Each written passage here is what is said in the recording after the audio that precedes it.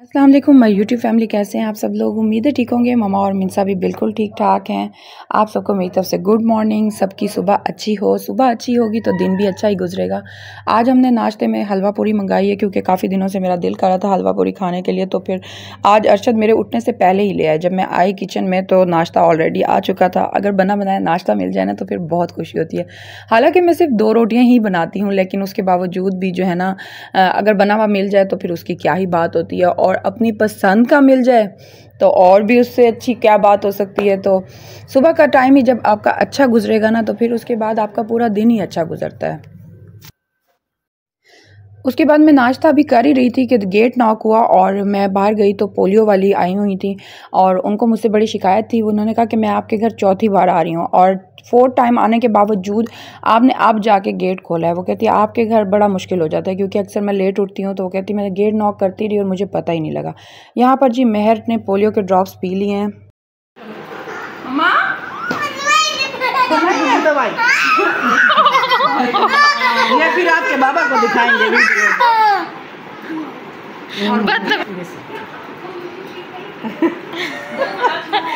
नहीं कर रही। और अब बारी है मिनसा की, जो कि सबसे मुश्किल काम होता है। मिनसा इतना तंग करती है, इतना ज़्यादा तंग करती है कि मैं आपको क्या बताऊँ।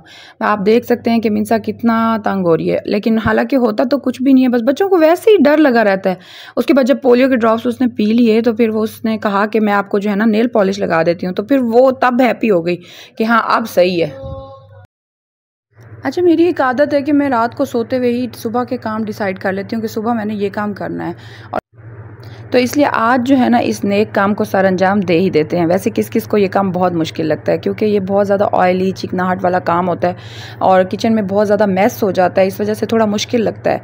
तो मैं लेकिन बस कर लेती हूँ। ज़ाहिर है, जो काम करना होता है, हमने खुद ही करना है और किसने आके हमें करके देना है। और साथ ही में मैंने अपना जो पुराना घी वाला डब्बा है ना, उसको भी अच्छे से धोना है, क्योंकि वो भी काफ़ी ज़्यादा मैला हो रहा था और पहले मैं ये घी जो है ना, जो पहले वाला पड़ा हुआ है, इसको निकाल लूँगी कहीं और बर्तन में और फिर इसको अच्छे तरीके से वॉश करके खुश कर लूँगी। मेरी जो सासू माँ होती थी ना, वो हमेशा घी को, देसी घी को ना फ्रिज में रखती होती थी, लेकिन खैर मैंने अपनी मम्मा से तो कभी ये चीज़ नहीं देखी कि फ्रिज में ही रखना है तो मैं तो हमेशा बाहर ही रखती हूँ तो बाहर पड़े पड़े अक्सर डब्बा जो है ना, बहुत ख़राब हो जाता है। इस डब्बे को जो है ना धो लेने के बाद ना हमेशा अच्छे से खुश करना है। कभी भी पानी वाले डब्बे के अंदर घी नहीं डालना, वरना आपका घी ख़राब हो जाएगा, उसको फंगस वगैरह लग जाएगी तो हमारा बॉक्स भी हो चुका है अच्छे से साफ़, आप लोग देख सकते हैं। स्टील का बर्तन का यही तो फ़ायदा होता है कि जब उसको धोते हैं तो वो बहुत अच्छे तरीके से साफ़ हो जाता है। हम लोग जो है ना घर पे दूसरे वाला आटा यूज़ करते होते हैं क्योंकि मुझे जो है ना गंदम की, खालिश गंदम की जो है ना रोटी अच्छी नहीं लगती क्योंकि वो बहुत ज़्यादा ब्लैक ब्लैक सी बनती है। तो उसके लिए तो मैं खैर घर पे जो है ना वो मैदे वाला जो आटा होता है ना, आजकल मिलता है बाज़ार से, वो यूज़ करती होती हूँ रोटियों के लिए। लेकिन अभी घी बनाना था तो मम्मा ने कहा कि बिल्कुल खालिश वाला आटा मंगा के ना उसका घी बनाना है क्योंकि वो अच्छे से बनता है। तो फिर मैंने जो है ना उसके लिए स्पेशल गंदम का आटा मंगाया है और ताकि हमारा घी अच्छे से बन सके। वैसे ये सुगड़ बेटियों की निशानी होती है। आप लोगों को क्या लगता है कि मैं सुगर हूँ कि नहीं? वैसे मेरी मम्मा कहती हैं कि मैं बहुत ज़्यादा सुगर हूँ।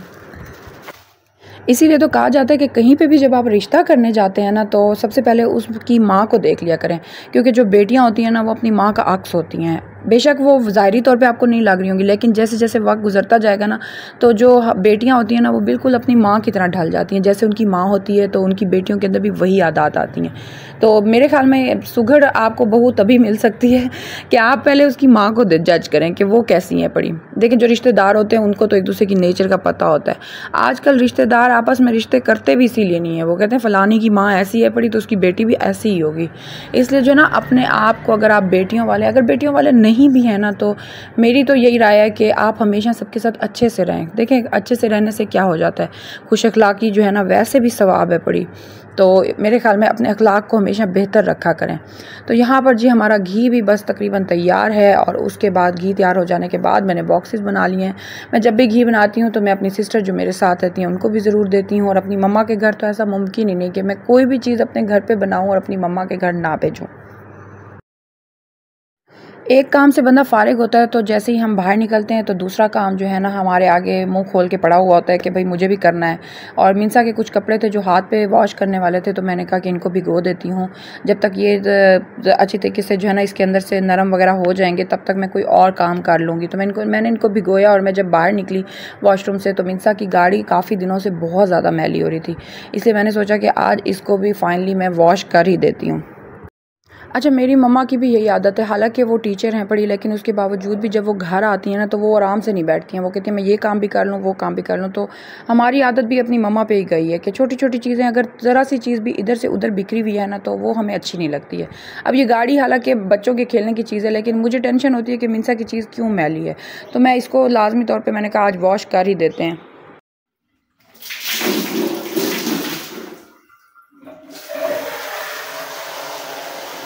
मैं वॉशरूम में आई तो गाड़ी को धोने थी, लेकिन उसके बाद मैंने जब अपना टब वगैरह देखा तो ये भी मुझे मैले लग रहे थे, क्योंकि अक्सर आप लोगों ने देखा होगा कि जो टब बाल्टियाँ वगैरह वॉशरूम में पड़ी रहती हैं ना तो इनके अंदर एक अजीब सी चिकनाहट सी हो जाती है, मैल जम जाती है। तो इनको भी मैं अक्सर अवकात ना हर महीने के अंदर एक दफ़ा जो है ना लाजमी तौर पर धो देती हूँ। तो फिर आज मैंने कहा कि चलो, आज इसको भी काम को पूरा कर ही देते हैं। तो फिर मैं इसको भी वॉश किया, उसके साथ साथ मुझे टूटियाँ वगैरह मैली लग रही थी, मैंने उनको भी वॉश कर दिया। आज मैंने कहा मैं सारा काम करके ही रहूँगी। आपकी जो टैप वगैरह है ना, उनके ऊपर चाहे जितने भी ज़िद्दी दाग होना तो आपने क्या करना है? लेमन मैक्स बार ले लेना है, साथ में हारपिक और सर्फ लेके ना, उसको आपने स्कॉच ब्राइट पे लगाना है और कुछ देर के लिए ना, आपने इनको टैप्स वगैरह पे लगा रहने देना है। मतलब तकरीबन कम से कम पंद्रह मिनट के लिए आप इनको लगा रहने दें तो यकीन करें आपकी टैप्स इतनी साफ़ हो जाएँगी कि आप खुद हैरान हो जाएँगे। क्योंकि लेकिन ये काम करना आपको खुद ही पड़ेगा, आपकी मेड वगैरह बिल्कुल ऐसा नहीं करेंगे। आप ये टैप देख सकते हैं कि कितनी ज़्यादा मैली है। इसको मैं साफ़ करने के बाद भी आपको दिखाऊँगी कि किस तरह से साफ़ हो जाती है। मिनसा की गाड़ी तो एकदम से जी चमक चुकी है और मैंने टैप्स वगैरह के ऊपर जो है ना सर्फ वगैरह लगा के छोड़ दिया है पंद्रह बीस मिनट के लिए। और उसके बाद फिर अब हम इनको दोबारा से वॉश करेंगे और मैं आपको रिज़ल्ट दिखाती हूँ कि कितनी अच्छी तरह से साफ़ हो चुकी हैं। अब आप ये जो है ना मेरी टैप देख सकते हैं कि बिल्कुल ऐसे हो चुकी है जैसे बिल्कुल न्यू टैप हो। आप लोग भी ये ज़रूर ट्राई कीजिएगा। और उसके बाद जी हम लोग जब बाहर निकल के आए तो एक और मैस खड़ा हो चुका था। मैं जैसे कहती हूँ ना कि एक काम करके निकलो, दूसरा काम पहले से जो है ना रेडी होता है कि मुझे आपने करना है। असल में हुआ ये कि मेरी जो सिस्टर ऊपर रहती हैं, उनके घर पे पानी नहीं जा रहा था तो मोटर एक ही है। मैंने पानी जो है ना पहले किचन में चला के छोड़ा। किचन में जब चला के मैंने छोड़ दिया तो वो बार बार जो है ना सिंक फुल हो जाता था। फिर मैंने सोचा कि वॉशरूम में टैप चला देती हूँ तो ये पानी चलता रहेगा, ऊपर पानी जाता रहेगा।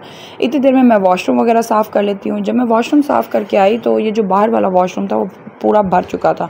और वहाँ से सारा पानी मेरे ड्राइंग रूम के अंदर आ गया था। ड्राइंग रूम में क्या आया था? कारपेट पूरा का पूरा भीग चुका था। इतना ज़्यादा आप लोग पानी देख सकते हैं और फिर मुझे यहाँ पर वाइपर लगाना पड़ा। काफ़ी मेहनत तलब काम था क्योंकि फ़र्श के ऊपर तो हम लोग वाइपर ईज़िली लगा लेते हैं, लेकिन कारपेट के ऊपर लगाना इंतहाई मुश्किल था। और उसके बाद यहाँ से फारिग हुई तो मैंने मिनसा के कपड़े वगैरह धो लिए, मैंने कहा, इनको भी वॉश कर लेती हूँ। और उसके बाद जो है ना, मैंने सोचा कि अब मैं बहुत ज़्यादा थक चुकी हूँ, मुझसे कोई काम नहीं होगा। फिर मैंने ममा से कॉल की और ममा से पूछा कि आपने आज खाने में क्या बनाया, क्योंकि मुझे बहुत ज़्यादा भूख लग रही थी और अरशद घर पर थे नहीं कि मैं बाहर से कुछ मंगवा सकती तो ममा ने कहा कि मैंने जो है ना दाल चावल बनाए हुए हैं। तो मैंने ममा से कहा कि अबू से कहेंगे मुझे अभी आएँ और अभी लेके जाएँ। तो बस जी, हम आ चुके हैं मम्मा घर और खाना बिल्कुल रेडी है, आप लोग देख सकते हैं। और मम्मा के हाथ का खाना तो क्या ही बात है। माँ के हाथ में जो टेस्ट होता है ना, मेरे ख्याल में वो जितने बड़े भी शेफ़ वगैरह किसी के हाथ का भी आप खा लेना वो टेस्ट नहीं होता है। अब ये देखें सिंपल सी दाल, चावल ये पड़ा, लेकिन उसकी शक्ल भी इतनी अच्छी है और खाने में देखें कितना अच्छा होगा। और जब इंसान इतने काम करके थक जाता है ना, और फिर आपको उसके बाद इतना अच्छा खाना मिल जाए, वो भी माँ के हाथ का तो क्या ही बात है। आज सुबह ही मैंने आपको कहा था कि अगर दिन सुबह अच्छा आप लोग स्टार्ट करेंगे ना तो आपका दिन का एंड भी बहुत अच्छा होगा। तो बस हमारा व्लॉग भी यहीं तक था। अगर आप लोगों को वीडियो पसंद आई हो तो प्लीज़ प्लीज़ प्लीज़ हमें सब्सक्राइब किया करें लाइक किया करें। हमें जो है ना, आप लोग सपोर्ट किया करें ताकि हम इस तरह से वीडियोज़ बनाते रहें आपके लिए। फिर मिलेंगे इन अगले ब्लॉग में। तब तक के लिए अपना ख्याल रखिएगा। अल्लाह हाफिज़।